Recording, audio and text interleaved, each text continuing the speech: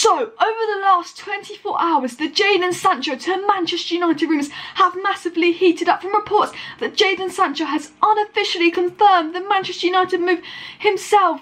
He wants United. He's spoken with Marcus Rashford multiple times about Manchester United and how he likes Solskjaer and what he's done, and that he says he wants to come to Manchester United even if we don't get Champions League football. Hello and welcome back to Alice Talks Football, and in today's video, I'm going to be giving you all the updates on Jadon Sancho, what's happened, what's been said, why it looks so likely that Jadon Sancho is going to become a Manchester United player, and a basic roundup of all the reports and what they're saying. These reports are making it look certain that Jadon Sancho is going to become a Manchester United player, and the only thing that could stop Jadon Sancho becoming a Manchester United player is if this coronavirus pandemic messes with the transfer window. But before I get into this video and what the reports are saying and why it looks so likely he'll become a Manchester United player, please take two seconds to hit that like button and subscribe down below to Alice Talks Football if you have not already, as it means a lot. And if you subscribe, you don't miss daily football content from me. So, Jadon Sancho, he's one of the most promising young talents in the world. He has just turned 20. And at 20 years of age, he already has 31 goals and 42 assists in 90 games. Now, 31 plus 42, that is 73. 73 goal contributions in 90 games. Now that is pretty good. Now, you think, alright, Messi and Ronaldo have got so much better stats, but Jadon Sancho is just turned 20. When Messi and Ronaldo just turned 20, here were their stats. Ronaldo had 16 goals and 16 assists, while Messi had 26 goals and 8 assists by the time they'd gone 20. Jadon Sancho beats them in all aspects, showing the potential that Jadon Sancho has on why he's going to be worth such a big money move. So he's going to cost a lot, Jadon Sancho. And Borussia Dortmund have come out and said multiple times that they will let Jadon Sancho go. They won't leave him hostage. If he wants to leave, they'll let him go as long as the right price is met. They come out yesterday and said, yeah, if the right price is met, you know, just because of this coronavirus, we're not going to let him go cheap. We will let Jadon Sancho go. And apparently, they're going to let him go for around 130 million pounds. And that's the rumoured price that Manchester United and Dortmund have agreed on.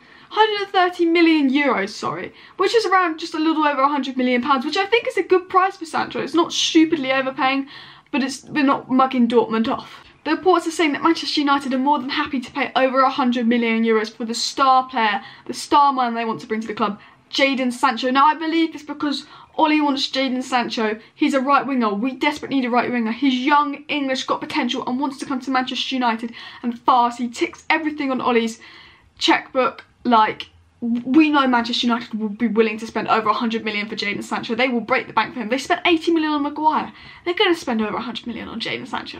So the Independent, among other sources, have basically come out and said that Jadon Sancho has unofficially announced his move from Dortmund to Manchester being the red side of Manchester. I mean, why would he go to Manchester City? There's already an abundance of wingers there anyway he's less likely to get game time plus he's already been there so it's it's obviously Manchester United. Apparently he's confirmed everything in privately with the club and all the voices going around privately in Old Trafford are basically saying the deal from Jadon Sancho is like 99% done They've offered him a 400k a week done, personal terms are agreed, all of this is agreed. I think they're just seeing what's happening and all the sort of, basically this report goes in to say that, you know, Jadon Sancho and the club have unofficially confirmed it themselves. It's very likely he's going to join Manchester United. The report also says that Jadon Sancho is going to replace Alexis Sanchez. So Manchester United want to get Alexis Sanchez off their books so they can save wage funds for Jadon Sancho. And Jadon Sancho, if he joins, will become the highest earner Manchester United, raking in £400,000 a week. Yes, that is insane money. But it's the man we want and I think we'd do anything to get him. The report goes in to talk about every quiet word coming out the Theatre of Dreams confirms that Jadon Sancho will be moving to Manchester this summer. The report also talks about how Manchester United have prepared the number seven shirt for Day, the number seven shirt for Jadon Sancho. He's going to get the number seven shirt, and they strongly believe that even if they don't get Champions League football next season, Jadon Sancho will be a Manchester United player. This other report basically goes into talk about how Jadon Sancho has a very close relationship with Marcus Rashford and Jesse Lingard. We know they've been friends for years over England international duty. Jadon and Rashford are obviously singing about ages. They always banter a little bit on Twitter and Instagram and stuff. I know Jesse and Jadon did an Instagram live like two days ago and apparently like he talks to them a lot about Manchester United, the reports are saying, and he's told Rashford, who's obviously gone and told Solskjaer this, that Jadon admires what Solskjaer's done with young players. He's, he thinks Solskjaer's done a good job, he likes Solskjaer and he wants to join and obviously Rashford's gone and put in a few good words about Jadon to Solskjaer. Apparently Jadon's a great player, great attitude, he's gone and told Solskjaer that and apparently Jadon's saying loads of good words about Solskjaer so we know there's a little chemistry between Ole and Jadon, they've been exchanging nice words about each other in private. And we always know that Jadon Sancho kind of wanted to come to Manchester United for the last year or so, he always flirts with the idea of coming to Manchester United. There's a video, if I can find it I might put it in this video, where he's like with the rapper Dave I think it is and they're like get him to United get him to the United and he's just laughing and he's like you know what's next you know what's next hey you know what's next you know what's next, you know what's next. Hey. kind of flirting with the idea of joining Manchester United and him and Rashford always have their like Twitter beef about him and United and stuff. And Jadon Sancho like always flirts with the idea of coming to Manchester United. So we know that, you know, he's very keen on coming to Manchester United and the reports are saying he's very keen on coming to Manchester United.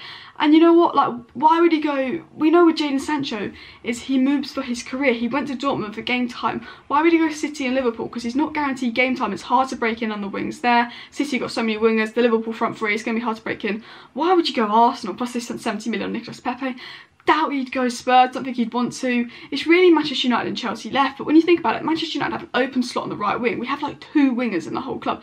Chelsea, they've got three brilliant wingers coming up in Hudson-Odoi, Pulisic and obviously they've just got Hakim Ziyech. So Manchester United are the club most in need of a winger. And if he wants game time he knows that Manchester United but he is guaranteeing game time. I'm pretty sure he get it at Chelsea but like he knows with Manchester United he'll come in he'll be the main winger the main man. The spot is already there for him. Also with Chelsea they need a striker a lot more than they need a winger and I think they'll go for Werner before they go for Sancho. While Manchester United will go for Sancho before they go for Werner. Now after hearing all these reports obviously you don't know how accurate these reports are but like from the way the reports are going, I'm quite confident that Jadon Sancho will become a Manchester United player.